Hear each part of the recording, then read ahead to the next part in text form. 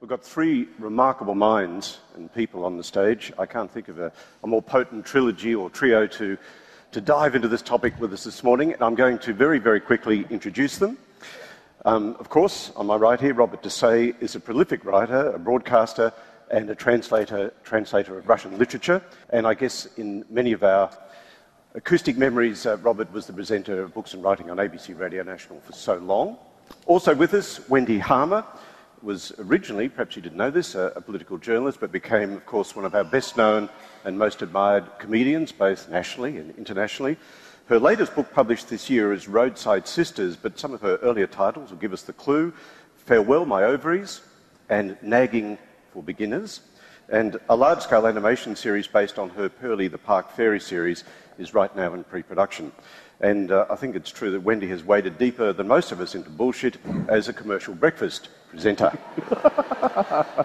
and Jonathan Green is a journalist and an author whose sharp and acerbic writing in The Age was a must read for so many of us for so many years. But now he's right at the cutting edge, and that's a bit of humbug, is editor of the pioneering online journalism site crikey.com. And I read his blog and see his tweets, very short tweets, most of them every day.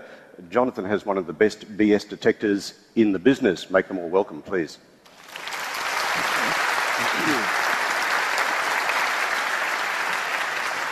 I guess our main reference today, um, and some of you may have read this already, part of the MUP series of little books like this, Robert Dessaix's On Humbug, but uh, we've also been reading On Bullshit by Harry G. Frankfurt, referenced in, uh, in Robert's book. Another book uh, referenced is your call is important to us.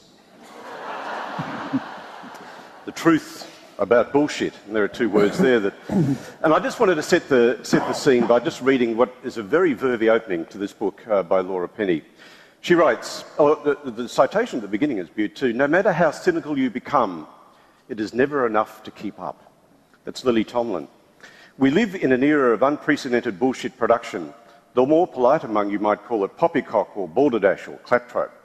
But the concept remains the same, and the same coursing stream of crapulence washes over us all, filling our eyes and ears and thoughts with cliches, euphemisms, evasions, and fabulations.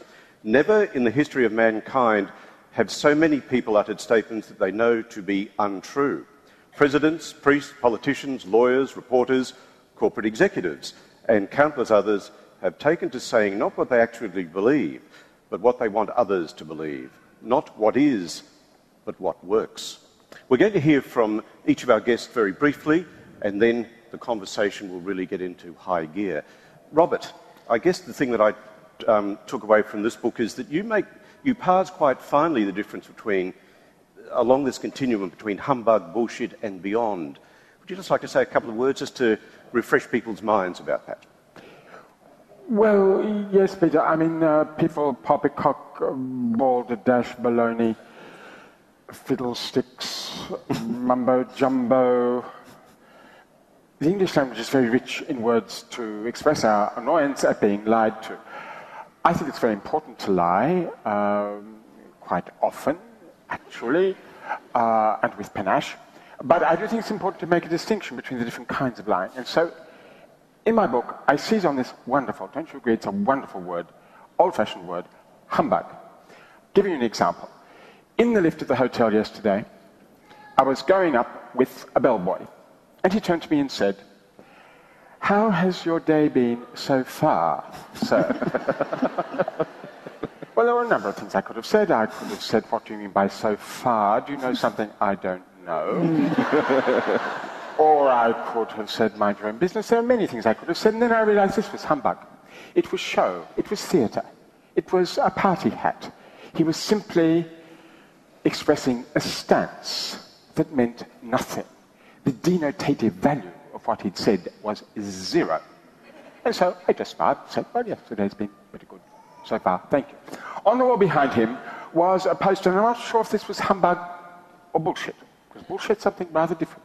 It said, this hotel is dedicated to the preservation of the environment. Well, the first word that comes to mind, of course, is bullshit. And in fact, what's happened in English is that the word bullshit, this is what the book is about really, has taken over from all these other wonderful words, which only Indians really remember nowadays. and now I'm trying to say, look, it's important to make a distinction because if you don't, you'll make a fool of yourself. Bullshit is when somebody tries to get you to be complicit with their agenda by babbling at you. Politicians uh, specialize in bullshit, as I'm sure Jonathan can explain. So do religions, I would have to say, quite often with unclarifiable gobbledygook. If you watched Q&A, I know you're not supposed to say this sort of thing, but if you watched Q&A, Q&A the other night on the ABC, it was full of bullshit. You had Tony Abbott, for example, who's a specialist. You had Lindsay Tanner, but so is Rudd, you know, so is Julia Gillard, so is um, that man who is supposed to be looking after the environment. What's his name? The pop singer. All bullshitters every time they open their mouth. Then there's a third category in the book, and I'm finishing now, which I'm going to start by calling today mind screwing. I use a slightly more vernacular form because there is actually a book called On Mind Fucking, actually, is what the book is called. I will start off by calling it mind screwing. This is when someone wants to totally skew your entire mentality. Love, for example, is an example of being mind screwed. It can often be very pleasurable, like humbug. No one minds being mind screwed, really. It's when your whole mentality is being reconfigured. And religions, of course, do it all the time. And I have, I think, some quite jolly examples, don't I, in the book of how this is done. So there are the three categories. And all those other wonderful words, mumbo jumbo and codswallop and uh, hogwash, uh, they sort of fit around these three main words. So that's my thesis. And just to, just to take it another step, in the book, uh, if you've read it, um, Robert pulls it together with, with the idea of the party wig being fake and the rug or the toupee being false. So you make that, that, that sort of sums it up for me. That the party wig is humbug. Yes. It's fun, it's a show, whereas a toupee is trying to get you to be complicit in believing that this person is 23 when actually they're 84. Wendy Harmer. Thanks, uh, Robert. I, I, was, I was really pleased to read the book because it did, you know, clarify for me lots of terms and uh, give a bit of form to the swamp that I've been wading in since I was pretty young in one way or another. Um, having been on sort of both sides, I suppose, of the media, both as a journalist and as a performer and in radio and as an author and back again, just wading through, Robert, you know, up to my um, neck sometimes and up to my ankles other times. Um, one of the things, you know, about three quarters of the way through reading this wonderful little book, I thought there was no hope. I, it seemed like bullshit and humbug and I'll say it, mind fucking were coming at me from every angle and there was really no way through. And so I was very, very pleased to get to the end of the book and then find a bit of a note of hope. And I've, that's what I would like to talk about this morning, if I might just quickly. Um, Robert says at the end we can do a couple of things. Um, we can hone our ability to reason and we can refine our nose for shit, he says. And I, I, say that? Yes, you did, Giles. Actually, you did. Um, I, and I thought this was quite interesting. And, and, if you kind of indulge me, I've been, I feel like I've been a little bit lucky in my upbringing here because my father was a school teacher. He's, you know, retired now, but a school teacher. And he had a really, a real love of logic and a real love of literature. And he would sort of never really believed anything that anybody said, pretty much. And um, one of the things that he always did was we would ask him a question, you know, um, um, you know, are there penguins in the Antarctic? And he would say, well, I know the answer to that, but I'm not going to tell you. You go and find out for yourself, and there's the encyclopedia. And so this was absolutely infuriating when we were children. He used to drive us up the wall. And the other thing that he would do, he was really, really interested in the notion of logic. So we would have discussions around the kitchen table, and he would say, Well, you know, he, would sort of pose a question, and then we would try to answer it, and he'd say, No, well, that's a rash generalisation. What's your supporting evidence for that particular statement? And then also drove us up the wall. And then the worst thing of all that he did was he would always watch TV with us And he would say, like if we were watching a puppet show, he would say, Look, there's strings there. You can see those strings. Or one of those Scalextric ads, you know, where they're pushing the cars. Dad would say, There's a bloke pushing that car. It's not going by itself. And we'd say, Dad, you know, so I guess that's the sort of you know, upbringing that I had, and I, I guess sort of pushed me into the areas of both journalism or comedy or I don't know, slash comedy, I don't know. Um, I actually went from journalism into comedy because I wanted a profession to give me a little more respect, I have to say. what I am doing in my house at the moment, I've got two children who are 9 and 11, and so we're, they're just starting down that road of getting into, you know, big time bullshit land in, you know, accessing the net and all this kind of thing. One of the things that I don't know whether you will be horrified by this, Robert, or not, is that um, I'm, I'm an atheist, I'm a non believer, and my, my husband is a Catholic, and my children are both being confirmed at the moment. And what's interesting, and my father sort of did the same, even though he was an atheist, he sent us to Sunday school just to really see how the other half lived, as it were. And so I was telling a girlfriend last night, I said, Oh, the children are, you know, going through the ritual of confirmation now. And she said, They're what? Why are you doing that? But the funny thing is, the kids know I don't believe in God. So they come back from church and they say, Well, we learned about this today, we learned about that, but you don't believe in God, do you, Mum? I said, No. So we're mind fucking our children right now. but it's for their absolute good, that I hope. Um, the one thing is very interesting, though, is that my son is accessing the internet. Um, he's age 11. He goes on YouTube. He posts his own little videos there that he makes.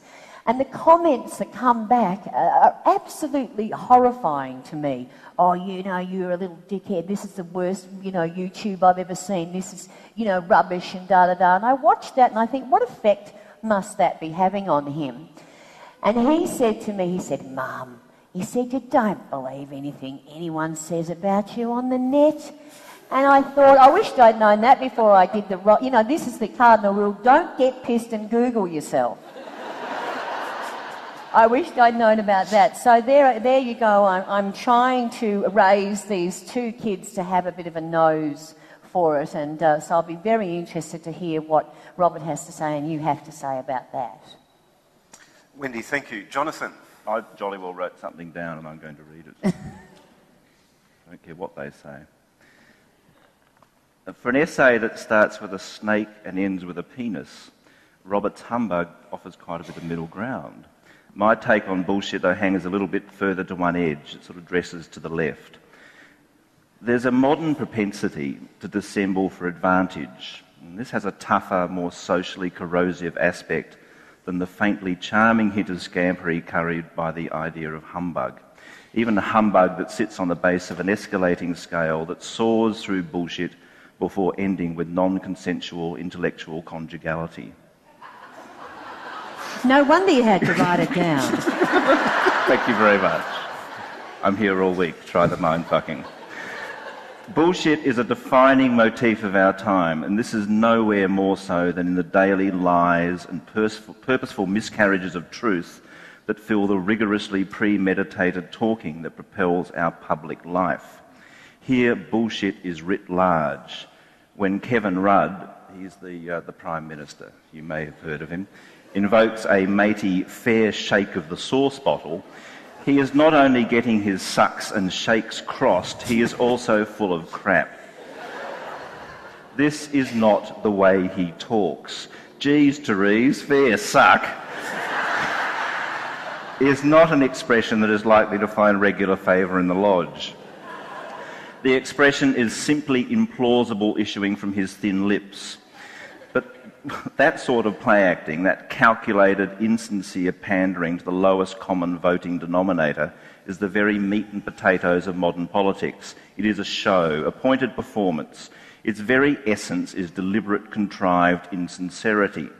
The utter heart of our political process is a sort of backroom calculation that will have the Prime Minister no more than a scripted mouthpiece for the shadowy apparatus of power after all, lapse into obscure, mispronounced colloquialism so as to appear a man of the people. It is bullshit. But make no mistake, and this is where things often get confused, the national political discourse is not a conversation aimed at the ears of the informed.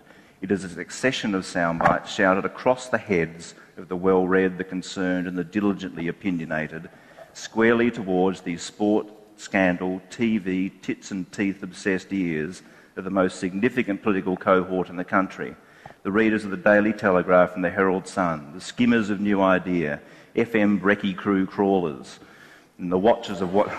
I'm sorry. I love New Idea. I read it every week. It's part of a balanced diet, though, Robert. It does no harm. First time caller, regular caller, first time thinker.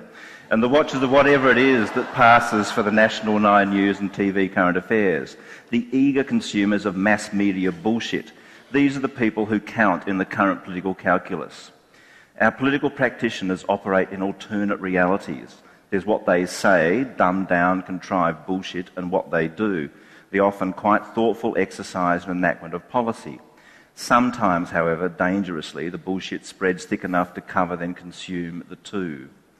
A sauce bottle throwaway aimed at renovating a Ponzi public image is one thing.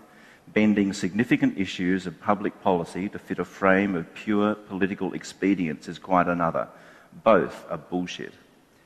Kevin Rudd went to the people in November 2007, running hard on points of difference with the vigorously decomposing Howard regime. The ALP approach to climate was perhaps the most significant of, of, those points of difference. And Rudd promised to put our name to the Kyoto Protocol, check, and then enact legislation to establish a market for carbon that would turn the price forces and implacable logic of economics against planet threatening emissions. That last bit was bullshit. A case study in the incapacity of our political processes to bring about change that implies any degree of voter discomfort or political threat. A general election, a green paper, a Garnaut report, months of deliberation and debate, and we end up with a scheme that accepts as its targets levels of global warming that will spell environmental cataclysm a scheme that bends over backwards to reward comfort and entrench the country's biggest polluters, a scheme that absorbs broad levels of public concern and then commits the country to the square root of nothing for fear of offending vested interest. Where the bullshit of routine politics normally rolls on harmlessly, bulldust to bulldust, ashes to ashes, all caught in the great in joke circularity of the political game, the current crop of climate bullshit will round slap bang into non bullshit reality, which makes it bullshit of the highest and most damaging order, something beyond humbug, something cynical, opportunistic, and downright bad. That's the end of my little mm. speech. Jonathan, thank you. Just as a, while you're still in voice there, Jonathan, I want to ask all three of you do you think, as a very general cultural statement, we in Australia are better at picking up bullshit than perhaps the Americans, for example, or other cultures? Do you think we've got better bullshit detectors in Australia?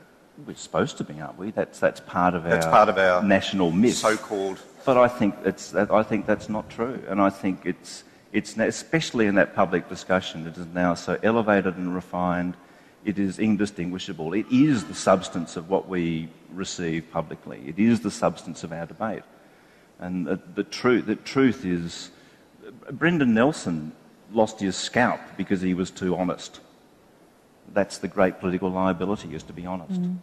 I think there's a homogeneity of culture, um, really, in Australia and media and concentration of media, which makes it much more difficult, in fact, for us to um, be good at, uh, at detecting bullshit. I mean, if you go to India, any newsstand in India, and you look at the hundreds and hundreds of newspapers that are there, or you go to America where there are an enormous amount of subcultures, much more than there are here. I, I think um, that um, we do obviously get that homogenised view of America, but I don't think that that's the, that's the real country at all. I think we are particularly susceptible to bullshit here because of those couple of factors. And I don't think um, um, you can substitute something like the Paul, tall poppy syndrome and say that that's a nose for bullshit. I don't think those two uh, ideas equate at all.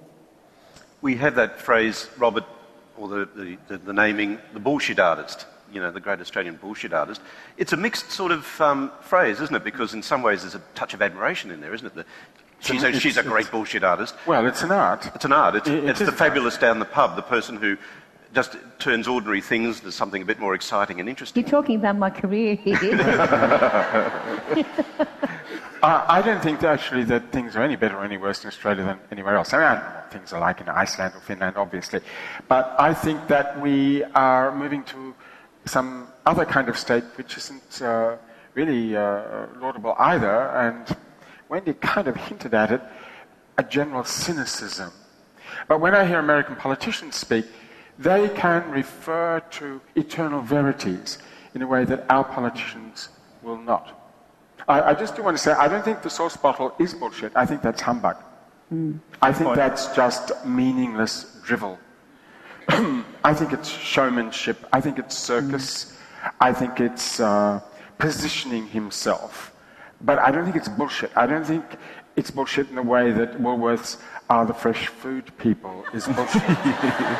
But when that positioning, when that showmanship is about contriving this artifice around the guy that is leading the country, when it's all about how he presents himself, But, but really, you can't have that discussion in any way, Jonathan, without saying that the media aren't completely complicit in that. Oh, very and we're so. talking about, you know, there's a story on the front page of the Age today talking about how much money John Brumby has, has been spending in advertising the government.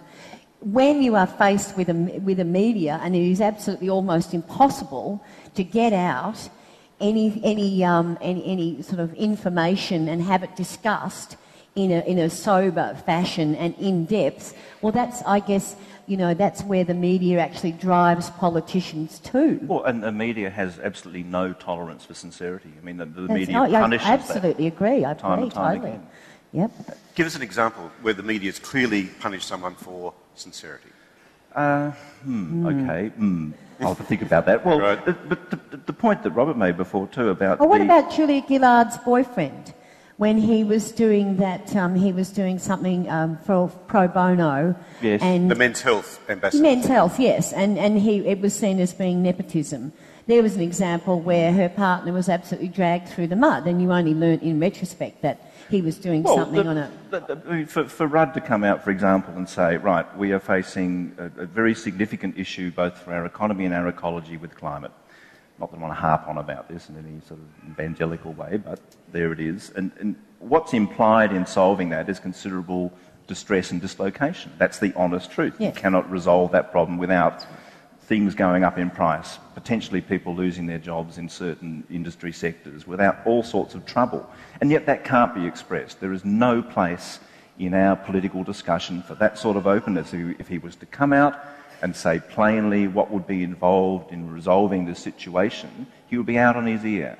But we don't believe the media. Look, I read The Australian every morning.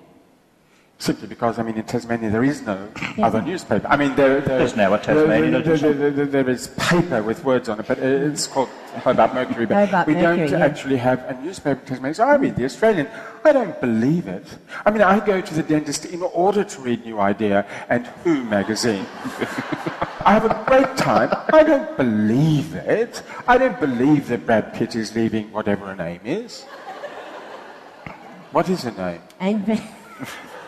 And Angelina Jolie. Well, I don't believe Oh, well it. But I enjoy myself. I mean, I think that, that you don't give us credit for, for our ability to uh, think rationally about what we're reading. I read The Australian mainly because, well, it's a little bit smaller and the um, English is quite good. Um, and it's full of rubbish and gobbledygook and bullshit. Especially when compared to New Weekly or New To Idea what? or Who. Oh, well, compared to who? well, you know, well, what, Robert, what interests me is when I, I started out as a, a journalist, you know, when I was about 19, 20, and in those days I used to cover local government a lot, or the industrial round, things like that, Geelong Advertiser and the old Sun News Pictorial. And if I ever wrote uh, in my articles, if there was any sort of hint of opinion, I remember very specifically, I'll give you an example. When I was at Melbourne Town Hall and I came back and I wrote in this particular report that the councillors had come back in high spirits after a long dinner break. And And the editor pulled me up and he said, You're not to put that in there because that is not fact and it's also opinion and it's actually not germane Just to. change it to dinner break. Yes, that's right. But now we have the rise and rise and rise of the opinionated political, you know, pundit. And it seems now that you almost, if you, you're, you're, you're, everyone is allowed to write opinion these days. But I'm just talking about when I was a young journalist, that was something that you are only allowed to write when you were very, very old, well seasoned, and yet it was an extraordinary privilege. But there is a sort of reason for that, and that hmm. is because there is so little truth coming out of political process that can be reported on. And hmm. so people have to resort to this thing of analysing and contextualising uh, to give some meat. If you simply reported on what it was that politicians said and did, you'd be left just communicating their But, but, bullshit but and no, but nothing more. my point, my, my, I think it goes a little deeper than that. What politici- politicians are actually the very, very end of the process. They're the very, very end. I mean, there's all sorts of, you know, issues facing sort of industries and sectors and, you know, interest groups. And what a politician says is actually the, the, the smallest part of it. So what I'm saying is, I mean, we get into that whole debate about investigative journalism, don't we? That's where we get into that, whether it should be public funded or whether we're missing it, whether there is more now than there ever was. I don't know what you think about that. That's a big, complex discussion. It is a big complex discussion, but I do think it's part of why, you know, we take more notice of politicians than we ever wanted to or should. We don't take any notice of that That's, that's what I mean. whatsoever. Well, we shouldn't. Um, you know, it's just something that goes on while we're getting the dinner, and then we watch Two and a Half Men. I And yet, and yet, I love Two and a Half Men. It's a great show. I thought you might somehow. yes, I do. I like and yet, sadly, they make decisions that affect us all, regardless of whether we pay them any heed. Oh, I think it's Rio Tinto that makes the decisions that affect us all, not politicians. I think politicians simply rubber stamp what BHP and Rio Tinto and, well, the Chinese government perhaps uh, decide is good for us. I think they think they run the world. I think Obama thinks he runs the world, but he doesn't.